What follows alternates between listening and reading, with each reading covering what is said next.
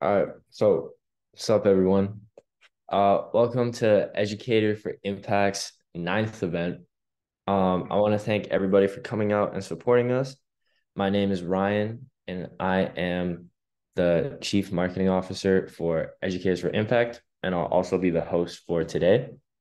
Um, so for today, we have a very um, wonderful speaker, Dr. Ping-Chin Yeh, uh, a fellow silicon design engineer at Advanced Micro Device, which is uh, better known by its uh, name AMD. And he's joined us today to discuss insights into technology and the semiconductor business, as well as his opinions on AI's influence into our future. And when we have our Q&A, you guys can also ask and submit questions as well if you want to. So um, to quickly introduce us, um, what, what we are is a platform created to bring together different people from many different backgrounds and industries as well to share their thoughts and ideas about all things that are related to education. We truly and passionately believe in the power of education to not only influence students, but also parents, and most importantly, future educators as well. Uh, you can find more info on what we do at educatorsforimpact.org. And besides myself, I also have eight other hardworking team members who are working with us to make this event possible. Next slide. So um, Dr. Yeh, as I said, uh, is a fellow uh, Silicon Valley design engineer at AMD and he's currently working on next gen system on chip technology enablement for artificial intelligence and telecommunications. Um, he has a wealth of experience, uh, first earning his PhD in electrical engineering from the University of Florida. And he's also worked at companies like HP slash Agilent and uh, Xilinx. Now, um, Dr. Yeh himself will give us a brief intro into his journey and his current work at AMD as well um, as some quick insights into the AI and engineering fields today. So I'll let him do that. Okay, uh, thank you, Brian, for the introduction. Um, it's the my honor to be able to get to be invited to this uh, special forum. And to me, it's also a great opportunity that I can get reconnected with the younger generation to share my past experience in terms of education and also my career journey. And I hope that what I information I provide to you today can be can can have some um, give you a new uh, perspective in, in in terms of what kind of the college major you you want to be enrolled, and also as well to your onward uh, career development. Um, so I do have like uh, uh six slides, and I guess the, uh, so Brian, can you help me to uh, flip it? Because um, actually I'm not calling from my phone, so I will not be able to see uh, the slide. Uh, so I have to, I need Brian's help. So am I, am I on the first page? Um, yeah, yeah, you're good. You're on the my engineering journey slide right now. Okay. Um, so I think Brian already made a lot of the, uh, already introduced my background. So um, I'm a Taiwanese American immigrant. Uh, so uh, in the college, I was majoring in electrical engineering. And then after two years of military service, I flew to US and to pursue my graduate study initially at uh, Amherst, which is uh, at Massachusetts. And then I went to University of Florida, Gainesville, um, uh, because they have a much more uh, well uh, well-rounded in terms of the uh, research area, especially in the semiconductor. And um, so um, during my um, graduate re research work, I have a chance to work in the intern at the at Intel. And then after the graduation, I flew to the West Coast, and then I have been uh, launched my professional career in HP and slash Agilent.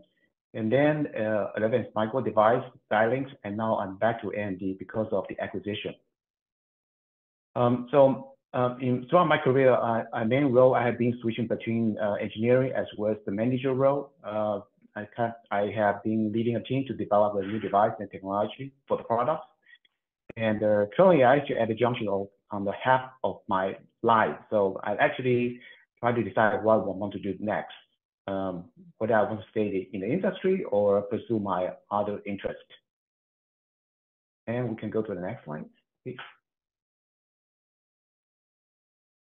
Okay, um, so a, my whole career is kind of evolving around with the semiconductor industry. Um, Nash is, if you have a chance to, well, or to have courage to open up for, for example, your, either your desktop computer or your other electronics um, accessory, you will see that inside there will be a, a, a several of the big uh, the motherboard, which is just showing um, just pretty much like image showing on upper right. And in on the motherboard, you will see there's a lot of the uh, black chips. So this is what we call the IC. Uh, in in uh, the full explanation will be integrated circuits. Um, so the IC, the integrated circuit was actually developed by the by the Gordon Moore, who is the founder of the Intel Corporation. And the um, so he actually come up with a law that in the 1965, but then later he actually revised it in 1976.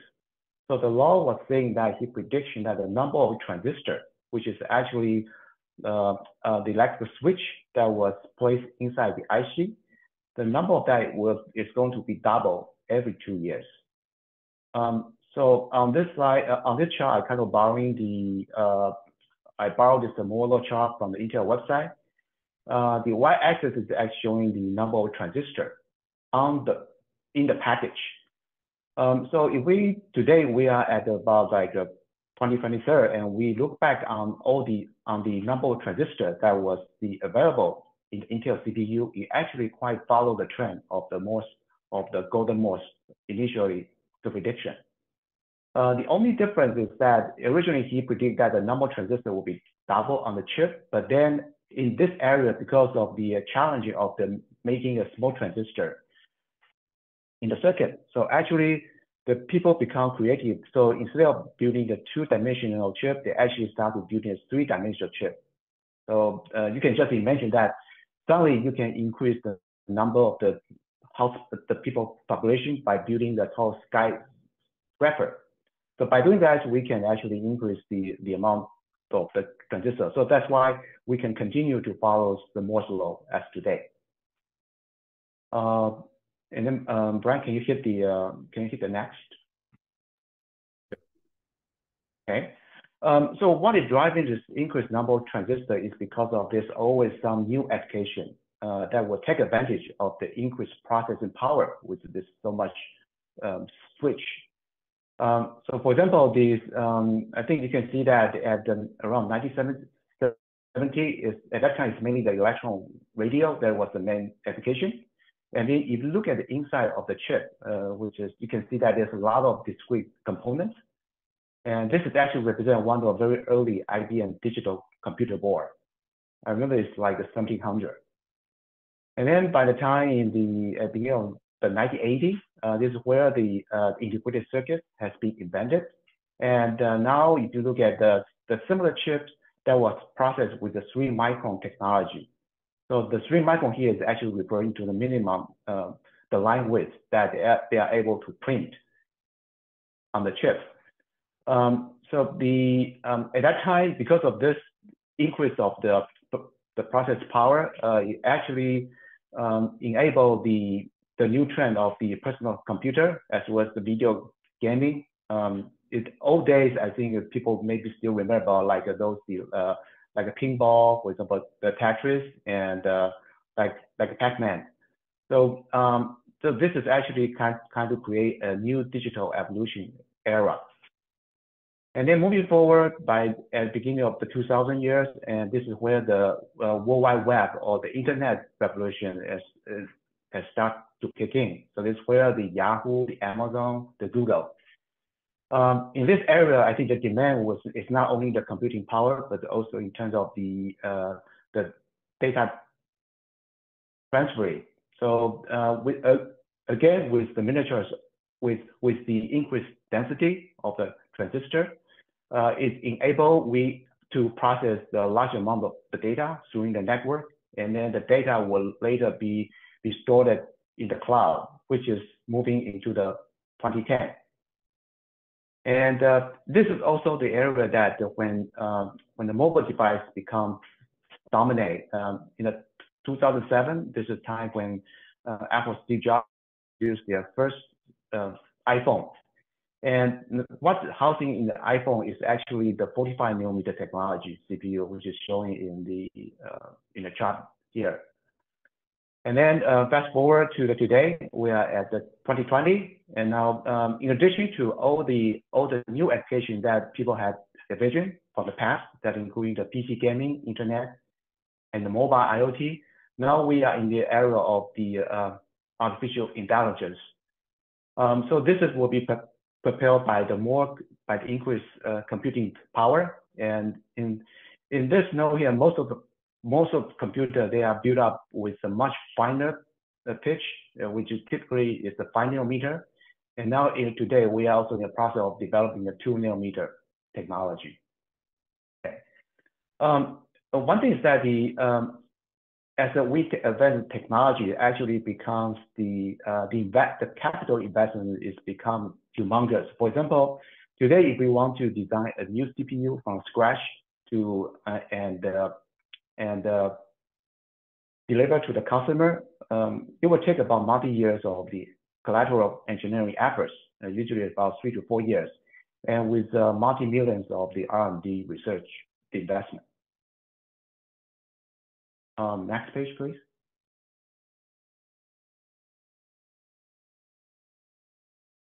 Um, so maybe you will ask about, well, so um, I know that we have a lot of transistors. So um, can we look at some of the performance metrics, which is more tangible to us?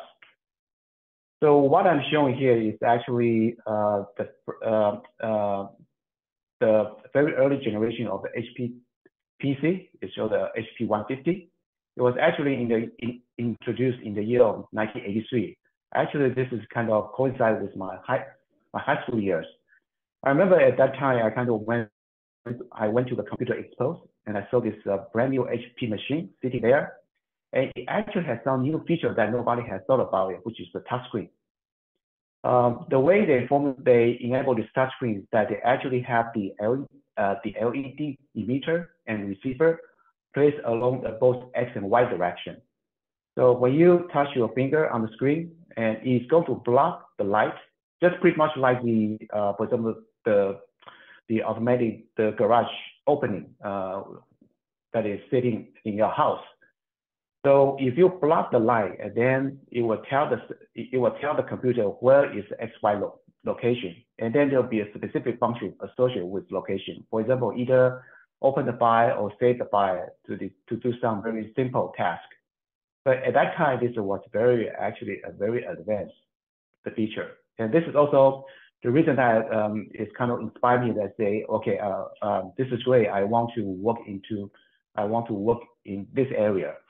And HP becomes my, uh, my dream company uh, I want to work for after my graduation. But if you look at the other aspect of this HP 150, uh, the price is about almost like $3,000 and it's running on the Intel 8088 uh, at only about 8 megahertz. And the number of transistors that they put into it, the chip is about uh, 30,000 and the memory is about 256 kilobyte RAM. Um, and then uh, can you uh, click the next? Okay. Um, so if I just use the, uh, for example, the last year introduced Apple iPad Pro uh, to compare about how much technology advancements we uh, we have we have been harvesting through the past 40 years. So the Apple iPro, um, the price is about one third of the HP 150. And then the CPU that was housing um, inside this iPad is uh, Apple Design M2, which is running at the 400x of speed compared to the Intel 8088. And the numbers of tra uh, transistor is about 20 billion, which is almost like uh, 10 to the six, uh, six order of the original Intel, the processor. And we also be able to uh, store a lot of the data because the memory now is also increased by about 10 to the 6. And then it, this is a touch screen. it's a very fine resolution. So um, uh, essentially we can touch any place on the screen and then do continue our work, either watch, watching the web or doing some Excel. Um, and there's some multiple apps that we can we can play around. So what the technology is, is, is giving us is not is the giving us a, a tremendous the performance uh, at the same power and also one very important thing with the by reducing the cost. So this is a major difference when you compare to the uh, the the industry production versus research versus research activity uh, because you already want to make sure that the number the dollar amount you invest uh, will be uh, attract the consumer and because their demand is always rising. Um, so next page, please. So um, I think um, maybe when you look at, remember that when I show you the Morsel track, so I think uh, the trend um, or trajectory, today we are actually in in AI, and I think the, the AI has been popping out everywhere. Um, so here I just want to give a brief um, introduction to, to the AI. Is uh, essentially this is based on a, a neural network. So neural neural network is a type of the machine learning model uh, that is trying to mimic what the, the human brain is operating. Okay. So if you look at diagram here, it, actually consume a network of the interconnect nodes, which we call the neurons. And then within each neuron, they have a connection, which is used to mimic the synaptics in the human brain. Um, and it was also has the has a, a different layer uh, so for example, the first layer usually kind of to receive the incoming message, and then we have a middle layer that was doing the uh, doing the all the all the training and the math operation, and then we have a last layer that will uh, uh spin out the result. So uh, for example, in this example here, this is a a, a very typical uh, training example is that we want to train the camera to be recognized a dog. Um, so the process will be like this. So, so first the dog will be digitized and it will, uh, it will all the digitized information will contain a certain feature and uh, age information of the dog. For example, whether the, the nose, how many legs the dog has, and the tail, and what's the color of the fur. And this information will passing from the layer one to the layer two. So each neuron here, they'll have its own weight and bias. So dep depending on the incoming signal, uh, it will be multiplied with the weight and compute and uh, uh, uh, produce the output. And then uh, you will decide whether this output, the, the strength of the sensitivity is high enough to enable the connection into with the next layer.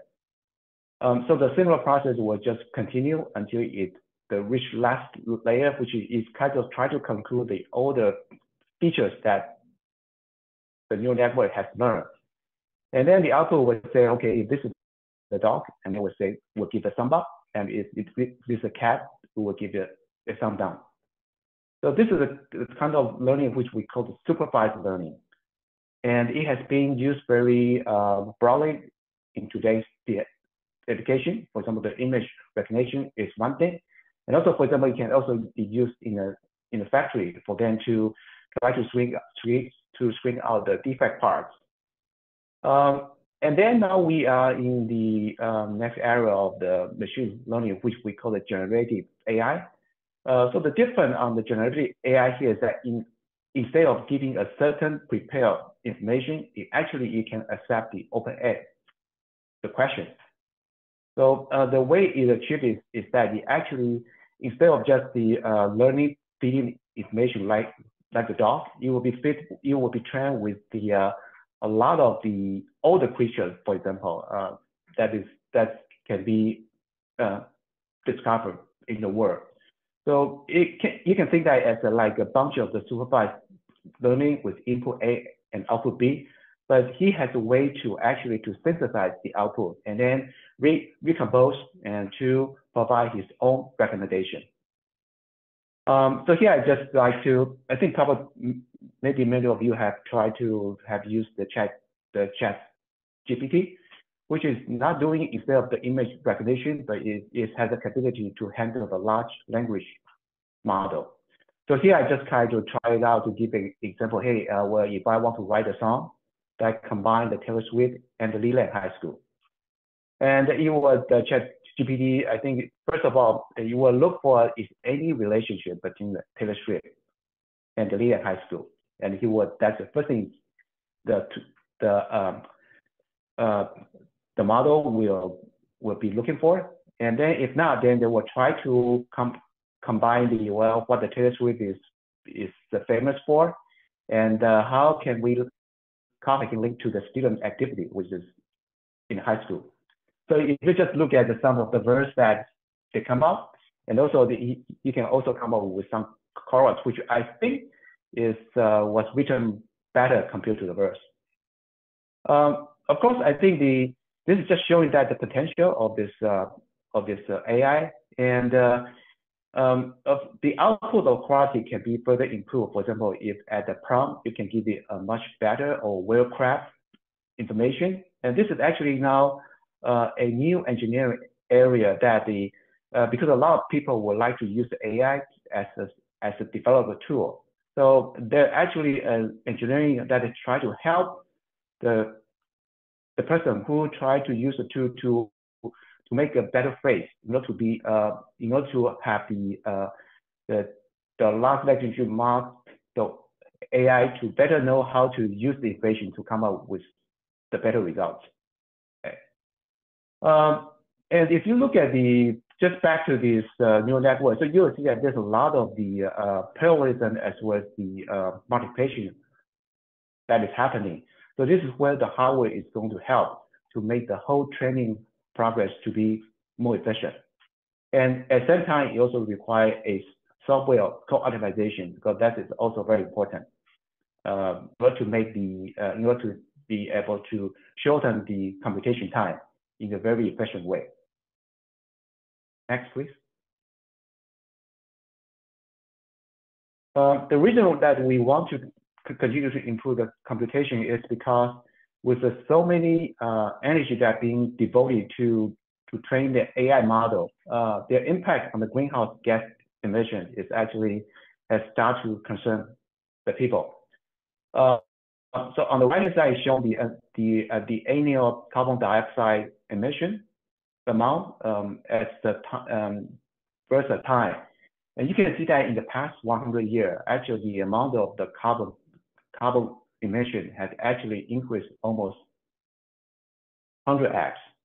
And this is actually aligned pretty well with the uh, GDP, which is stand for the gross domestic production, because there are a lot of the factory activity and people try to jump out as much of the car, uh, the refrigerators, uh, all the factory will consume the, the energy, which is um, in, adversely will emit the CO2. And if you look at today, the largest large language model like GPT 3.5, it has about 175 billion parameters. And uh, this model is actually con con continue to increase each year. And then training a single AI model, by estimate, it will probably emit about 600,000 pounds of the CO2 equivalent, and which is equivalent to a bias of the a typical passenger car. Uh, if you're running his lifetime, let's say about uh, 200k miles. Uh, and it, it, in terms of the uh, carbon emission, and uh, one ChatGPT query will emit about one gram of the CO2. And the currently there's we have seen about anything north of the 1.5 billion visit of a ChatGPT per month. So after you just do some of simple math calculation, you, can see that we have to find a way in order to reduce the power. So that's why there's a need to have a continued improvement in terms of computation and the data transfer efficiency, you know, to make AI more eco-friendly. With that, I go to my, uh, we can go to my final page. Um, so, so uh, what is going to uh, happen in the next five years, I think in terms of especially for hardware engineering, because this is the area that I had that I have been in. So what I, I can see is that the artificial intelligence will be become very pervasive. And it will be anywhere from either the cloud to the edge or the endpoint, and also transmission to all the daily life. Um, originally, I had a YouTube clip which I want to share with you, but that's just for the time. I probably I will skip that. But uh, but but essentially, it's just telling you that how the today the uh, uh, the AI chip that we produce, um, especially AMD, help to improve the people's life by implementing all the AI capability into the handheld ultrasound that can help the people in the rural area to make some um, on-time medical diagnosis and without have to traveling far away uh, to the hospital. So this is kind of the one thing that I feel very, uh, very fulfilled that knowing that uh, the work I'm doing is actually help to improve the human's life. And maybe some someday I'll be one of the beneficiary of the product that I, that I have to work on in the past. So uh, to make the AI becomes more computation efficiency, I can see that there will be three uh, main areas I think need to have a lot of the innovation in the in the next five years. So first of all, I, I envision that the, the silicon process that try that try to continue to uh, to minimize the digital switch in order to be able to have uh, as much about the computing power possible. I think that one will continue going as well as we do have a new computer architecture to help to process the data more efficiently. And then uh, the amount of generate heat, I that definitely need to be dealt with. And this will be made very, very much related to the mechanical or the uh, or the chemical area where a improved thermal and the cooling uh, solution will be needed. And last is that we when now when we communicate the data from A end to the B end, it always consumes the energy because the um, the electrical when they tra tra travel in a while, they will be collide with the atom, so that will slow down the speed and also generate the heat. So um, currently, I think there are a lot of development uh, look, looking at if we can use the light to transmit the data actually inside among the chip. And so um, and the, this is also the one of the area that has been uh, grabbing a lot of the attention. And finally, I think um, we also heard about about the quantum computing, and I do believe this is in the horizon. But currently, it's probably still mainly in the research demonstration, and maybe about five to ten years until to be accessible by the general the public. But this will be a good area, for example, for for uh, for young generation like you, if you are interested in this area and continue to pursue um, throughout your graduate school study. So that's all I have. Okay, thank you, Dr. Yeh, for that presentation. So we're gonna move on to the Q&A part of the event now. Um, if you guys have any questions, type them into the Q&A box or the chat box, and we will try our best to get to them at the end. Um, so like we have our uh questions in the Q&A, um, but I also have some personal questions as well. So mm-hmm. um first one, uh what first got you into the tech field and what has motivated you to keep going? Um, I think um, when I was a child, I uh, actually I like to I like to open something. So I think, uh, for example, I like to open the, for example, the stereo receiver in my house. Um, I like to see what in, what's inside here because for me, it's kind of the, uh, I feel that the kind of exciting to see how this is going to work.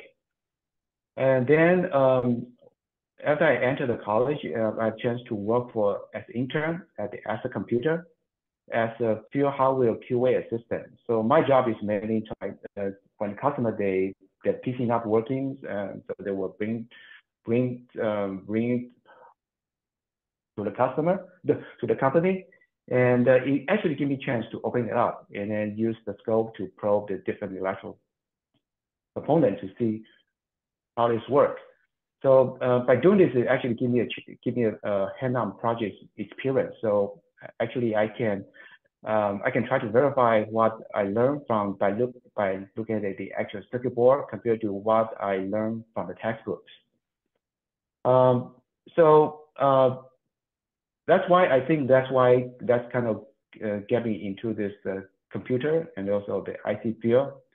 And uh, what motivated me to keep going because I think um, as you can see from the Moore's law, um, there's always the a uh, a technology innovation is always necessary in order to satisfy the increased demand of the different digital application. Uh, the dynamics I kind of, for example, starting from digital revolution when PC and the workstation replaced the, the mainframe computer and become accessible, and then come from the internet revolution demanding, uh, which require the connectivity through the wire or the high-speed wireless communication on on the mobile device and to the today's IoT. So this is all this the, the application which uh, personally I can also benefit by by using the product that was made, uh, which keep me excited uh, and to remain in my career uh, to further explore the any new application that can be uh, that my the work I'm do, doing can benefit. Mm-hmm. Okay.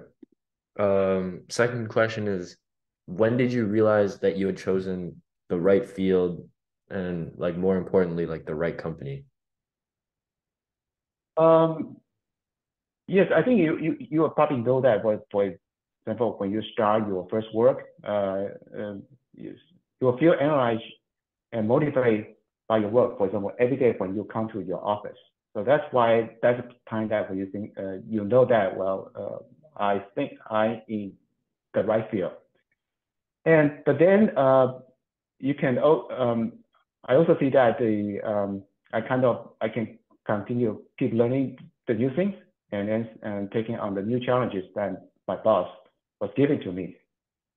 And uh, in the company I work for, for example, at at HP, um, it's uh, it's an organization that is well tuned with the a lot of the resource that you can access.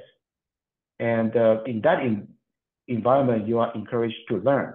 And then you will be um, valued and appreciated by the colleagues and, and the managers. So we should know that uh, I know that all the work I'm doing has a good the reward, not only the uh, economically, but also the in terms of the my um, my self accomplishment accomplishment. So mm -hmm. uh, yeah, and the and last but not least is the I feel like uh, uh, I can get a very good work life the balance. So and at the same time I feel like I'm making a positive impact to the world. All right. Okay. Um, and then during this career, uh, were there any challenges that like particularly stand out for you that you were like uh that were like really large obstacles to overcome? Uh I think the yes, um I would say that the um for example, when I at the graduate school, I'm doing my research, so the everything is kind of well controlled. But once you are in the industry, uh, you are asked to solve the uh, every day you have new problem you need to resolve. And uh, a lot of time you, you don't have like a week or a month to do your uh, to do a very thorough study. And in this typical in this kind of situation, you need to be able to make the right decision based on the very limited data that is available to you. Um, so I think this will be one one of the key challenges that have been that I've been getting to. And also the usually once you're in in in, in, in your current position for a couple of years, you will start to you will probably to get tired of of the work you are doing because um, everything becomes very routinely and uh, you will be and also you are you becoming so experienced that uh, you you can handle the job or the task very easily. So um, so there'll be and then you are pretty in the junction about the two decide whether it's time for you to move to the other area in order to broaden out your scope, or you just want to stay in your current job. Uh, but at that time, at the same time, spend uh, spend time to the other uh, things that you will be interested in, which may not be the work. So your so the bottom line is that you throughout your career you will need there are a lot of decisions you need to make either on the technically or on your personal development. Mm-hmm. Okay. Um, and then in terms of regrets, do you regret any decisions made in your career? And, and do you remember a specific situation where you might have wished you did something a little bit differently? Um, I think if I look at my career, uh, uh, well, I do, I do have uh, have have the being uh, have a chance to work on the different type of the project and task, which is starting from initially like for example doing the device modeling, and then to the then later on I kind of moved into the silicon processing, and uh, now I'm mainly uh, responsible for the new product introduction. Uh, maybe the one thing I hope I can do that maybe is that, um, especially during my younger career age, I would like to uh, to venture out more. For example, um, there's one position actually I had to stay. I stayed in that job for almost 10 years. Of course, during these 10 years, I have other other personal um, tasks that I need to care with. But the if I look back, I think I probably should become more aggressive and then try out uh, some uh, uh, some different um, um, engineering areas and even try to um, directly go into the management ladder instead of the engineering track.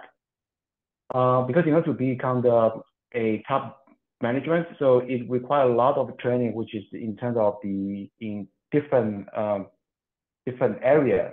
Basically, you need to be able to have a very broad um, um, perspective on the um, into the project uh, in different um, trouble areas, and instead of like engineering, typically only focus in one or two areas specifically.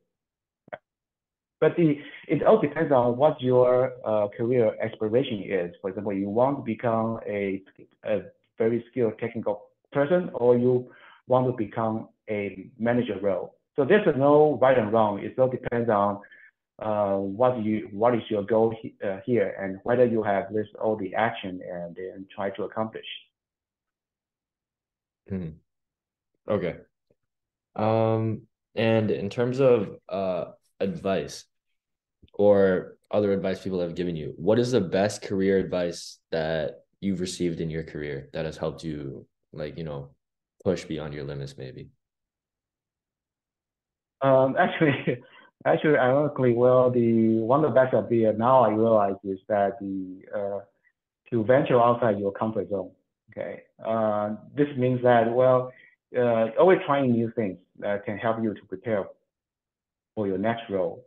Um, and uh, so this is actually uh, I saw there's a lot of some of my colleagues they were actually doing that, and then um, I just at that time I just decided well I have I have other more important things to pursue.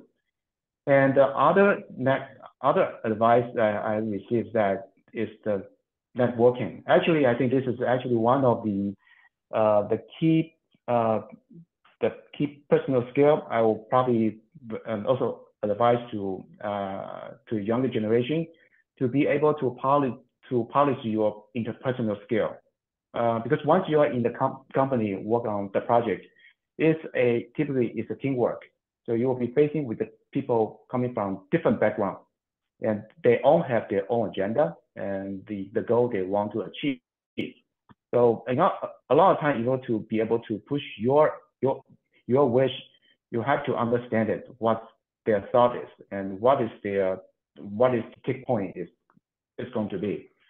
So uh, that's why I think it's it, it's very important that you uh, you you kind of continue to networking the people because it, this will help you to to brush up your your communication skill and also um, understand what the other people's the thought is So I think this is true. Basically, the the uh, have the courage to uh, to look at the different area and also the networking communication. I think that is probably the two best career advice I have received, and I think it should apply to all of you as well. Mm. All right. So, um, final question for me is that like you talked a lot about your job, talked a lot about what you do in the industry, um, and so we understand that your job is very demanding. What do you do um in any downtime you have to unwind uh, or just like relax or have fun? Oh, okay. Um, actually, um, I think I try to develop a hobby. Um, so actually, I'm currently I'm kind of more um, into the into the the photography. Um, so uh, for example, every time when I after the work I come home, if the if the if the daylight is still on, I think that's typically what's happening during the summertime. I would just grab my camera and go out to shoot. Um, so I like to shoot the landscape and also the street photography. And uh, because this this this is not uh, the way to relieve the stress, uh, but also connect my uh, inner aspiration in terms of doing the arts. Um, so to me, the camera is just like uh, it's just like a paintbrush. I use the camera to capture the the beauty from the of the mother nature, and the it also helped me to um, to be more observant uh, surrounding environment. Uh, for example, when I on the street, I would just watch how the people behave, and also what's the background, and the, especially during the during the afternoon, I think the sunlight will shine on it, so it usually would create a very good light contrast, and with different layer of the shade of the color. So to me, it's just like uh, using a camera to compose a artwork. Um, yeah, so this is kind of the what I feel uh, is a very good way to release to release the stress from the work. And other things just typical like a, like a go out to go jogging, uh, uh, jogging and uh, biking. Yeah. Okay, and then we also have um some questions in the chat. So, uh, this one uh asks, which jobs do you think could be replaced by AI in the future? So if you could give some insight to that, that could be good. Oh, actually, if you look at today's AI, right, um, it's it's become a a sub a developer tool. So um, I think they people have uh, people have used use AI in a lot of different areas. For example, like try to do the some geometric frequency and also try to do the customer relationship. For example, today if you go on the Amazon shopping, there's always a chat box over there. And also there's people try to use AI to do the uh, to do the self-driving car. I think some of the career that will be can be replaced by AI is typically those those jobs that that that kind of the involve a lot of repeated repetition. Um, for example, one thing like a like a customer relationship. Right? So um, I think you're always being prevalent that the automatic answer machine when you try to dial the phone to to the bank and usually this is this is the first layer that you're going to that you are going to uh, you're you are going to have. And then other job, for example, like uh, a, a programming, I think this probably maybe like a very uh, very entry level in terms of the software coding that can be handled by the AI and even some of like, uh, for example, the the law firm as assistant, um, as well as like the, for example, the uh, some of the data analysis that will require you to to uh, to scan through a lot of the data. As for example, for the law firm is assistant. In this case, you have to be able to read read, read through all the law uh, the law document, and those things I think will be has a chance to be replaced by the AI. Mm, okay. But uh, yeah, yeah, but but I think there was always because of this. I think actually free up the people to uh, a lot of the resources to be working on some more on some more advanced uh, um, challenges and the and the innovation. Uh, so I think overall the AI is good mm. for the human because it's it's it will improve our life. Oh, okay. All right. Um, okay, so that's all of our questions. Um, and then if we move on to the next slide, uh, now quickly before we end, um, if you're interested in joining us, you can learn how to join our team by visiting our website under the join us page. Um, and the link for that is right there. And finally, I would like to thank all of you guys for coming out and supporting us. I would also like to give a special thanks to our wonderful speaker. Thank you so much, Dr. Yeh, for your very insightful seminar. Uh, I feel like I learned a ton, and I feel like everybody else did as well. Have a great rest of your day, everybody, and we hope to see you again at our next event. So, thank you.